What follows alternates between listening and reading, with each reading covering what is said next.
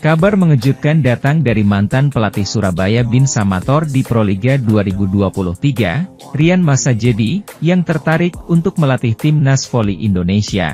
Dalam unggahan instastory sang pelatih, Rian Masajedi memiliki alasan tersendiri mengapa ingin menukangi timnas voli Indonesia, khususnya di sektor putra. Sebagaimana yang diketahui, timnas voli putra Indonesia saat ini dipegang oleh pelatih asal Cina, Jeff Jiangjie. Secara prestasi, Jeff Jiangjie tidak mengecewakan. Dia mempersembahkan dua keping medali emas SEA Games 2021 dan 2023, membawa Indonesia menjadi juara SEA Felix 2023 dalam dua putaran, hingga mengantarkan Jakarta Bayangkara Presisi yang mewakili Merah Putih meraih juara kedua alias runner-up di AVC Club Men's Volleyball beberapa waktu lalu. Hanya saja di balik gelimang prestasi yang diraih, ada beberapa target gagal direalisasikan oleh Jeff Jiangjie bersama timnas voli putra Indonesia.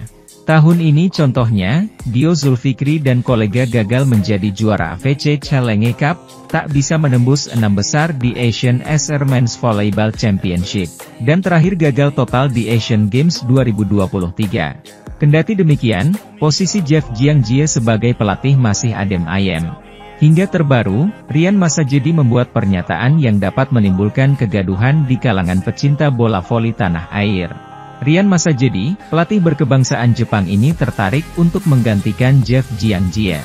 Saya bermimpi suatu saat mendapat kesempatan melatih timnas Indonesia, banyak sekali pemain potensial di sana, unggah mantan pelatih Surabaya Bin Samator tersebut. Secara pengalaman, Masajedi tak kalah dari Jiangjie. Bahkan dia dikatakan memiliki satu keunggulan yang tak dimiliki pelatih timnas voli putra Indonesia kini. Yap, Rian masa jadi besar dan mengembangkan karir kepelatihannya di Liga Voli terbaik Asia, yakni di Jepang. Sejumlah klub Liga Voli Jepang seperti VC Nagano Tridents, Fukuoka Winning Spirits, dan Jack Stings menggunakan jasa pelatih kelahiran 1 April 1976 tersebut. Artinya, ini menjadi keuntungan bagi Indonesia dapat merasakan gaya kepelatihan dan kultur pelatih yang kenyang menukangi tim voli di Jepang. Apalagi secara personal, masa jadi mengenal Rifan Nurmulki.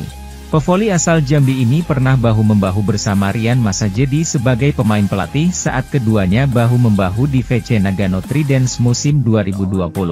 Lantas bagaimana potensi Jiang Jie digantikan Masajedi? Jika dikomparasikan secara target, Jeff Jiangjie memang memberikan prestasi mentereng, khususnya di lingkup Asia Tenggara. Namun saat mengawal timnas voli Indonesia berlaga di kompetisi elit level Asia, mega proyek yang dicanangkan PVC kepada Jeff Jiangjie tidak ada yang terrealisasi di tahun 2023. Menarik untuk disimak apakah PVC memberikan respons atas ketertarikan Rian Masajedi, atau justru memilih untuk tetap mempercayakan posisi pelatih kepada mantan pelatih Lavani tersebut.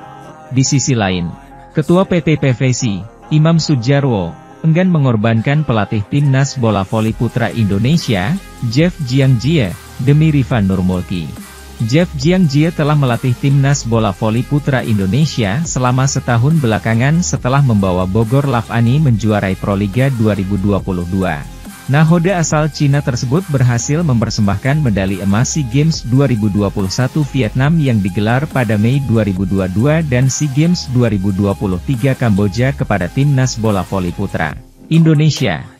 Imam menceritakan bahwa Rifan Nurmulki menolak untuk membela timnas bola voli putra Indonesia dalam kejuaraan bola voli putra Asia 2023 di Iran pada 19 hingga 26 Agustus 2023. Rifan Nurmulki disebutkan mengeluhkan pencoretan pemain dan merasa tidak cocok dengan kepemimpinan Jeff Jiangjie di timnas bola voli putra Indonesia. Prestasi pelatih kami kan dua kali medali emas SEA Games. Masa kami mau ganti pelatih yang bagus? Masa kami harus korbankan satu orang? Imbung Imam